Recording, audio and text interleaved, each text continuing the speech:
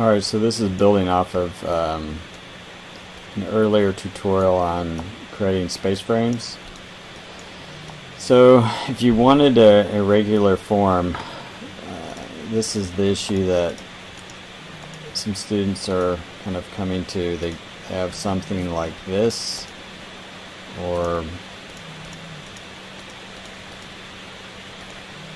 something like that, some kind of closed polygon that they've turned into a surface.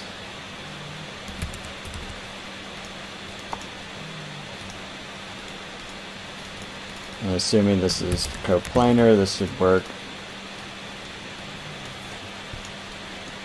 And once you feed that into the subdivide, you can see that the the way that the script works well, in the way that Rhino works, it's going to try to treat this as an untrimmed surface. So essentially it's going to put like a bounding box surface wrapping around uh, the irregular form, the trim surface, and it's going to try to interpret the, uh, the surface that way. So it's your grid's are going to be completely kind of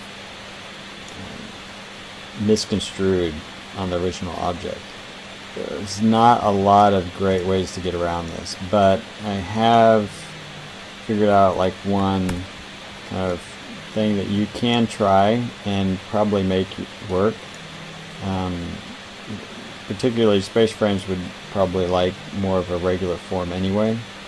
So what you do is you start with a regular surface. So this surface was created just using um, a corner to corner and then I'm going to do a points on and grab a point and you can see that you know because I'm manipulating the original surface and I haven't really changed its geometry that much that the the grid is now uh, moving with it and kind of subdividing it uh, in a very regular format.